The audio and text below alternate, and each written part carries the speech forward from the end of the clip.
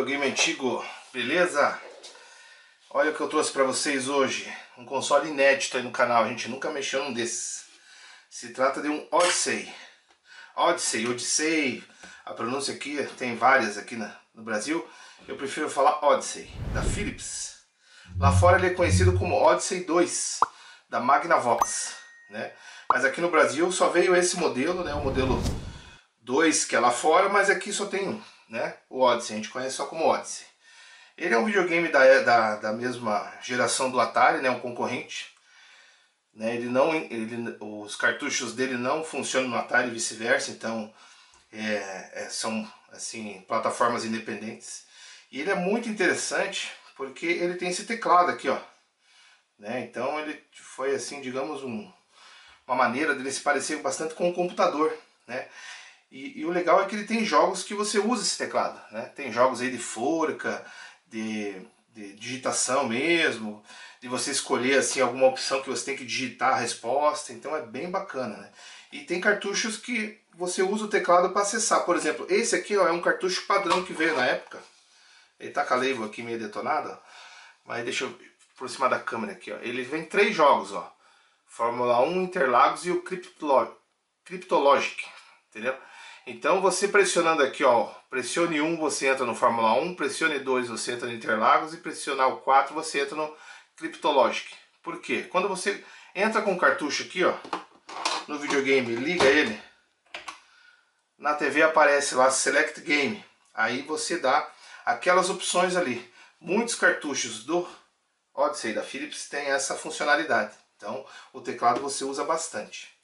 Outra coisa peculiar desse videogame aqui, ó, os controles. Os controles eles têm um padrão diferente, né? Eles têm aqui um direcional assim que que é bem esquisitão assim e o botão de ação, né? Então ele tem essa alavanca aqui é bem curtinha, então você tinha você trabalhava muito com precisão assim. Ó.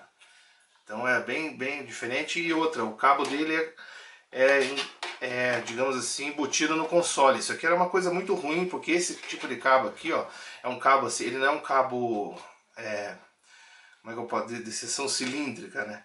Ele é um cabo é, fino, tá vendo aqui, ó?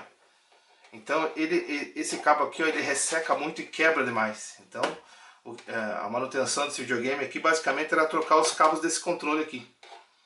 Então, isso era ruim, porque você tinha que abrir o videogame, trocar lá dentro o conector e tal. Então essa aqui era uma desvantagem desse aparelho. Bem, esse aparelho chegou aqui pra gente, né? Deixa eu tirar aqui o jogo. Meio detonadão assim, aparentemente ele tem algumas sujeiras aqui, parece umas, umas marcas de tinta aqui, ó, na letra I aqui tem alguma coisa, eu quero ver se eu consigo tirar sem danificar aqui o teclado, né? E aqui, galera, olha que do, judiação aqui, ó, pra quem gosta de videogame aqui, ó, cortaram os cabos, galera, cortaram, cortaram o cabo aqui do controle do Player 1 e o da, do RF. Segundo o antigo dono que me forneceu esse, esse console, ele já tinha comprado de uma outra pessoa que usava esse console só como decoração na estante. E como ele era só de decoração, a esposa do cidadão foi lá, achava aqueles fios lá atrás ali do videogame que estava ficando muito feio, foi lá e cortou. Cortou, jogou fora, deixou só um controle aqui. Então, infelizmente aqui nós vamos ter que optar por uma outra por uma outra, se a gente conseguir fazer esse controle, que esse videogame funcionar, porque ele, ele tem alguns detalhes que eu vou explicar depois mais adiante. Eu vou fazer o que? Eu vou tirar esse controle embutido daqui, tá? E vou adaptar duas entradas de controle aqui na frente para usar controle do Atari, né? Esse controle aqui, se ele estiver funcionando e tal, esse cabo estiver bom, eu vou colocar um plug aqui DB9 nele, né? o mesmo do Atari e vou usar nele aqui. Mas eu vou colocar duas entradas de controle aqui porque fica muito mais fácil aí da gente usar os outros joysticks, né? Então vamos abrir ele aqui, eu já tirei os parafusos. Assim, ó, curiosamente ele é um videogame da Philips, mas ele vem com original de fábrica com parafuso fenda, galera. Esse aqui, ó.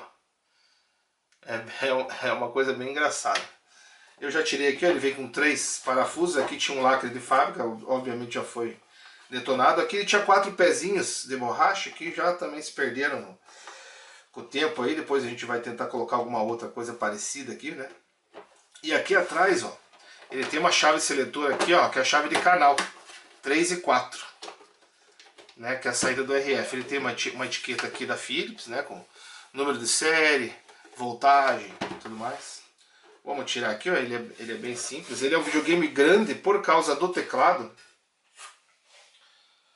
mas a placa dele é pequena, né, relativamente parecida, muito parecida com a da Atari, assim. Essa placa aqui de baixo é a placa de transcoder, para transformar, porque originalmente ele é um videogame em NTSC, né, americano.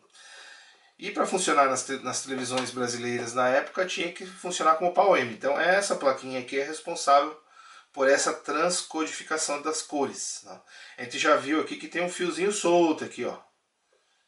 Isso aqui pode, pode dar algum problema aí dele, não, talvez não estar gerando imagem. Não deu para testar porque o cabo RF aqui está cortado. Aí também está desconectado a caixinha. Então é um videogame bastante mexido já. Né? Vamos ver aqui, ó. Eu vou tirar a placa aqui, ó. ó por, por dentro aqui vocês podem ver, ó, tudo parafuso fenda. Vou mostrar aqui para vocês todo o procedimento. Vamos tirar aqui todos os parafusos. Então ele tem três parafusos ali para abrir a tampa da carcaça e mais internamente aqui ele tem dois aqui dessa plaquinha, dois da placa principal E tem mais dois aqui da caixinha do RF para a gente poder soltar tudo ele aqui, né? O ruim desses parafusos de fenda é que você tem que tomar muito cuidado, porque como ele é fenda, aqui o encaixe da, da, da chave no parafuso escapa demais. Então se você estiver fazendo muita força, apertando ou desapertando e escapar a chave, ele já pega na placa aqui, pode detonar uma trilha, pode danificar algum componente. Então tem que ficar esperto com isso. Aqui eu já estou vendo também que tem uma outra modificação, por exemplo aqui ó, tá desconectado aqui ó, esse aqui é do botão liga desliga. Ele conecta aqui do lado. E esses três fios que a gente tem aqui ó, é do sinal da RF, eles estão soldados direto na placa. Originalmente ele não é assim, tá? Originalmente ele tem um conector que engata aqui na frente. Mas ele foi perdido aí no tempo aí, o pessoal resolveu soldar direto na placa para o videogame continuar funcionando. A minha intenção aqui com esse videogame aqui é arrancar fora essa caixinha DRF aqui e a gente fazer o AVMod nele. Né? Vamos ver aqui se eu consigo soltar aqui, ó. Tem o flat cable aqui, ó. Que é da, do teclado. Né? Tem que tomar muito cuidado com esse, com esse flat cable aqui, porque se ele der problema é difícil de substituir. Você pode até substituir por um aqueles cabos é, flat tipo de computador, sabe? Aqueles de HD antigo. Só que daí você tem que soldar fio por fio aqui e soldar lá na placa do teclado. Então dá uma certa mão de obra, mas dá para se virar com isso, né? Aqui, ó, galera, virando aqui, ó, tem aqui os conectores dos controles, tá? São conectores Molex. Similar ao, ao, ao Atari 2600S, que também tinha os controles embutidos, né? Então um deles aqui tá com Tá com o fio cortado, o outro tá funcionando. Deixa eu ver aqui, ó. Que, na verdade, o que foi cortado foi do player 2, ó. O player 1 tá inteiro, ó. O player 2 que foi capado fora. Pra gente mostrar a plaquinha certinha aqui, vamos... Deixa eu tirar, terminar de tirar aqui o RF, porque o RF tá grudado na placa, né, galera? Então, eu quero dar uma testada nele, eu só não vou arrancar agora que eu quero testar para ver se ele tá dando vídeo se ele estiver dando vídeo, se ele estiver dando vídeo, por mais detonado que esteja, assim, meio bagunçado, quer dizer que os, os chips dele estão funcionando. Deixa eu deixar aqui do lado aqui, ó, a placa. Então aqui, ó, a carcaça dele é uma carcaça grande, né? Aqui é o flat do teclado. Para soltar o teclado, o teclado, você solta aqui essas presilhas aqui e tira ele pela parte de cima. Aqui, ó, os conectores dos cartuchos, ó. Então, Oh, desculpa, aqui, aqui tá ao contrário, é o player 2 que ficou, né? O player 1 que foi cortado. Se eu virar ele aqui, se eu virar ele aqui, ele fica certo. E aqui o cabo do RF também cortado. Uma pena. Vou deixar esse aqui de lado também.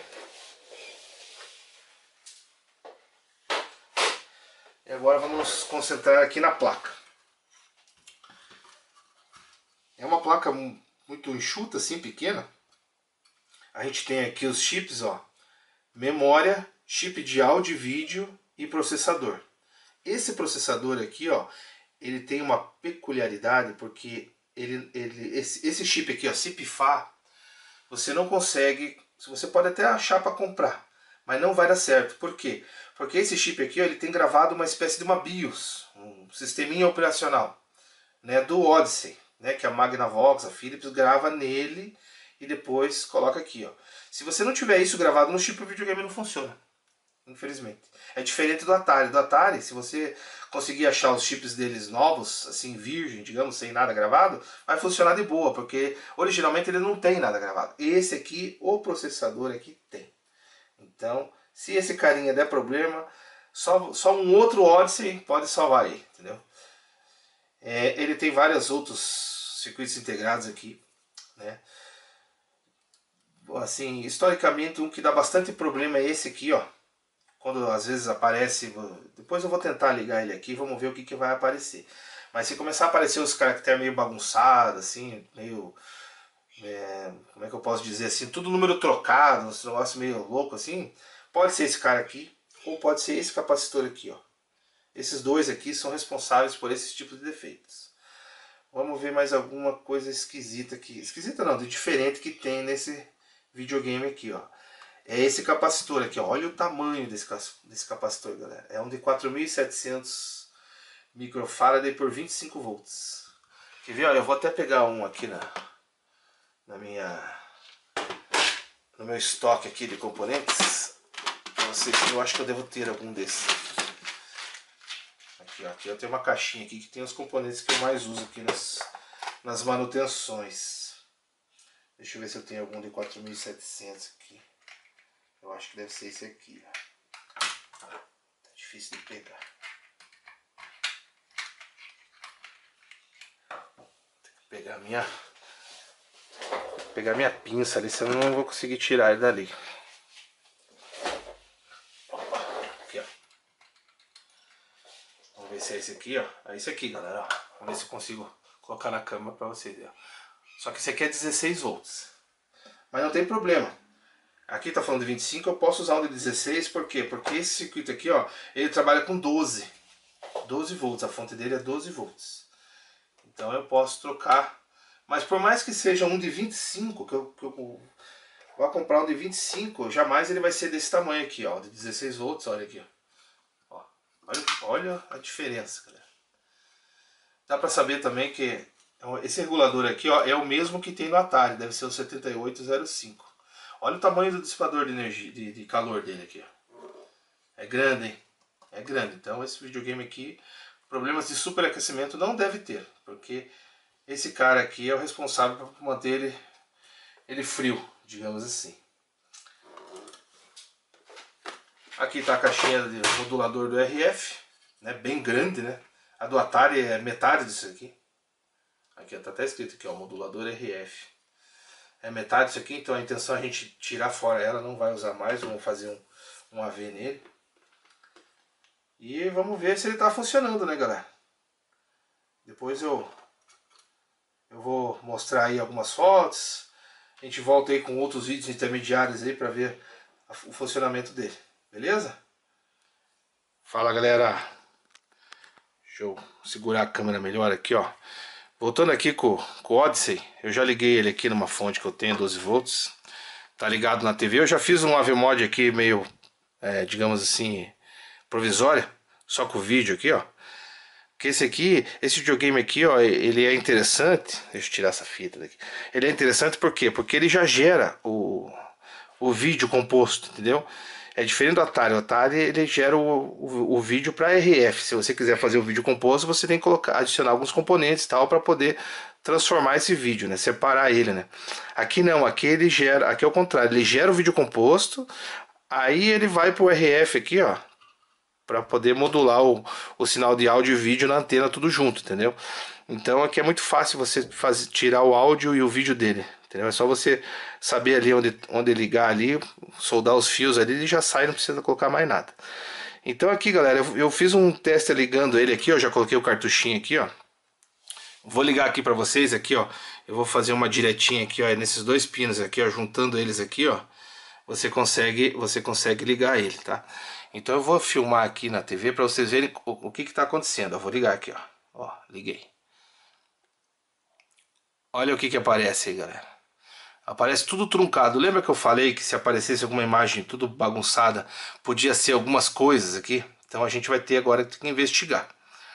Né? Então a gente vai trocando os componentes até achar o, aquele que é o responsável por esse, por esse defeito. Mas uma coisa já me, como é que eu posso dizer, já me acalma, né? Me, me dá um, um certo, uma certa um otimismo aqui, porque deixa eu desligar aqui, ó.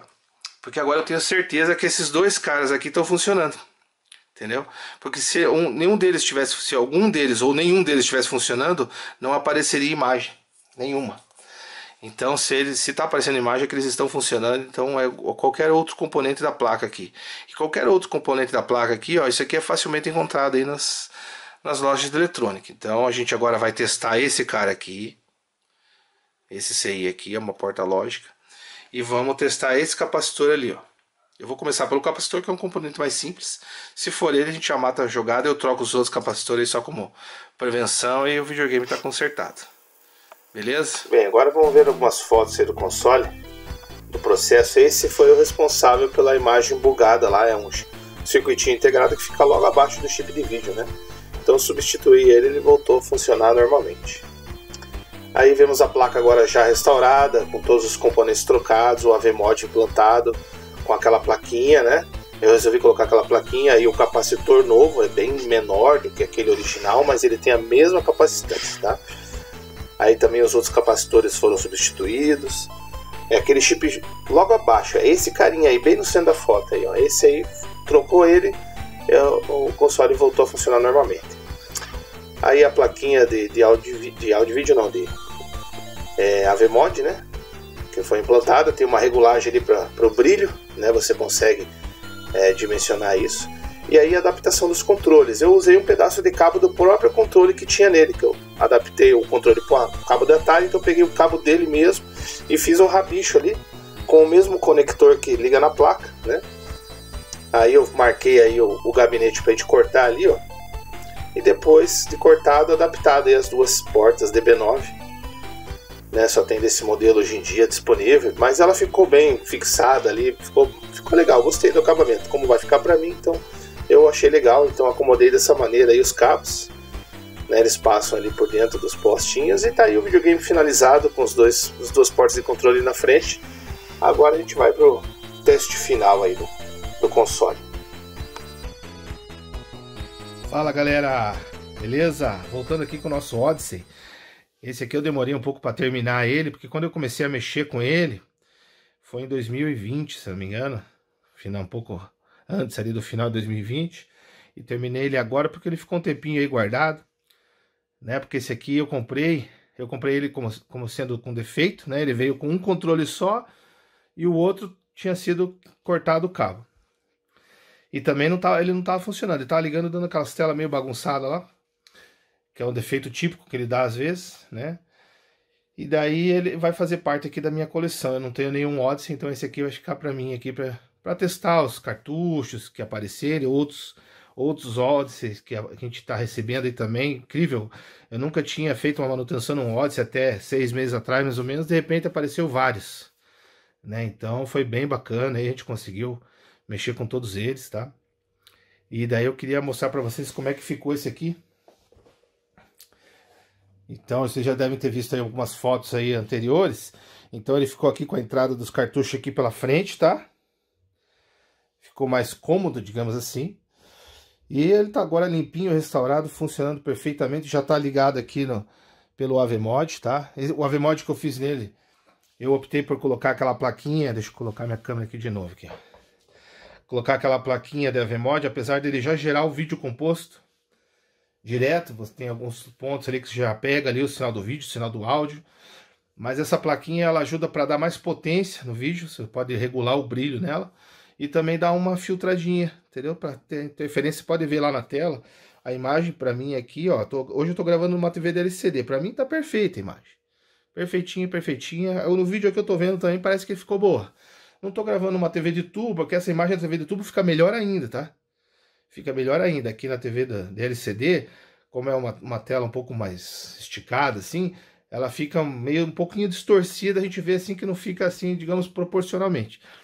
Mas na TV de tubo fica bem legal, fica bem legal o vídeo. Só não tô gravando na TV de tubo por causa daquele negócio da atualização da tela, do brilho, né? O último vídeo que eu fiz de Odyssey aí não ficou legal assim a captação do, do jogo, né? Então, na TV LCD hoje para vocês verem como é que ela fica, né?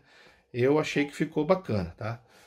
É, então aqui eu tô testando aqui com dois controles, um de Atari aqui, ó, que eu dei uma, uma restauradinha nele, botão amarelo ali, foi aproveitado aí de outros de outros controles e um do próprio Odyssey, que veio com ele. Esse aqui, ó, do próprio Odyssey. Deixa eu mudar aqui um, um negocinho, que tá muito escura essa imagem. Vamos dar uma clareadinha. Então aqui, ó, do próprio Odyssey, eu adaptei aqui o, o cabo, o cabo AV, né? Aí ficou legal aí. Cabo AV não, desculpa, é, tô viajando. Adaptei um cabo de, de, de, de, controle de Atari, então por isso ele tá ligado ali na saída. Então dá para jogar o controle de, de Odyssey, tanto no Odyssey como no Atari, tá? Então aqui, esse, esse, esse videogame aqui aceita controle de Atari, controle de, de Master System, controle de Mega Drive, os clones paralelos, original, tudo. Todos que tem o conector DB9 que tem a pinagem do Atari, do Master System e do Mega Drive, ele vai aceitar e vai funcionar perfeitamente. Então vamos só testar aqui o console, eu vou resetar ele aqui, ó. Tá lá o Select Game. É, no vídeo aí tá aparecendo umas listas horizontais aí, mas na tela aqui para mim não aparece nada, tá? Vamos aqui no primeiro jogo. É aquele famosinho lá do do Fórmula 1. Vamos escolher aqui. Eu vou escolher o número 2 hoje, vamos ver qual que é a diferença. A gente acelera aqui, ó. Agora eu peguei a manha desse jogo aqui, depois você pega uma cadência, você consegue ir meio que desviando dos carros, dos carros aqui sem maiores problemas. Vamos lá.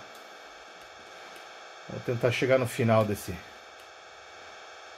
Esse aqui, se eu não me engano, da última vez que eu joguei, eu fiz perto de. Agora não vou lembrar quanto que foi naquele primeiro vídeo lá. Tem que dar uma acelerada aí pra tentar marcar mais pontos, né? Vamos lá. Ah, até aumentou Até aumentou o volume. Olha, agora acelerei demais. Agora, tá muito rápido, a gente já se perde um pouco. agora, agora estamos na velocidade mais ou menos. Vamos lá.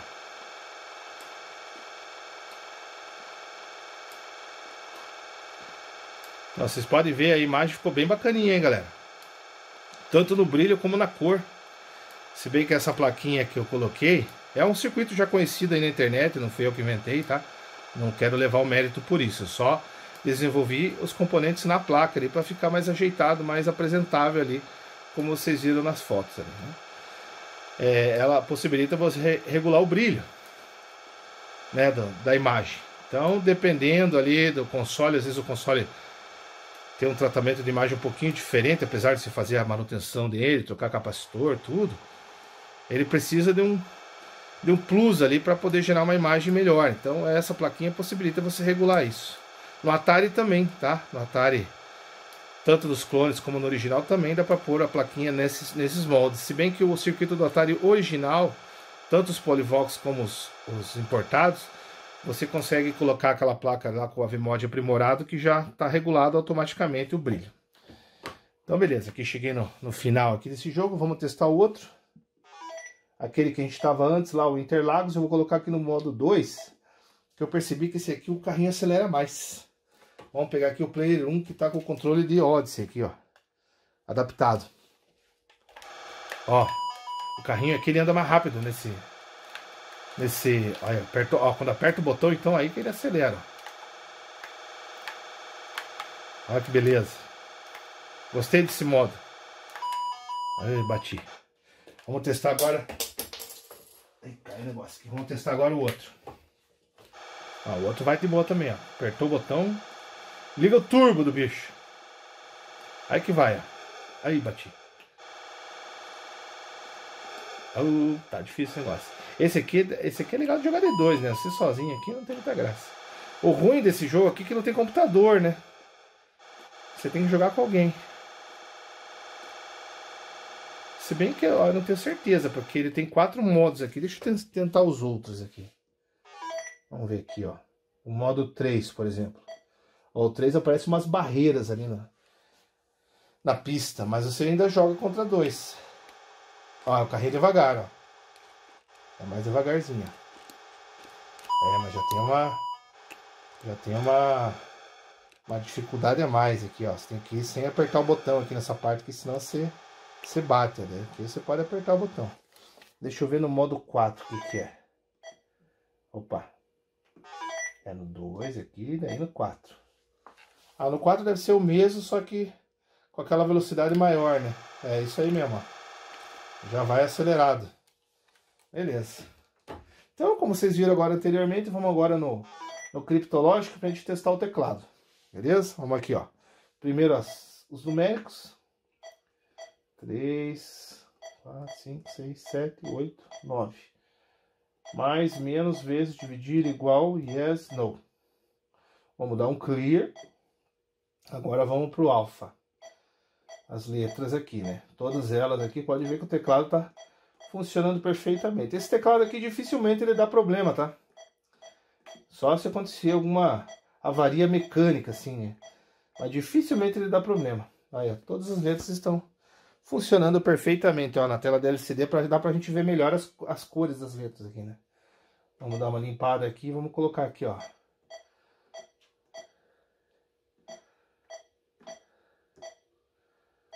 Canal MGA.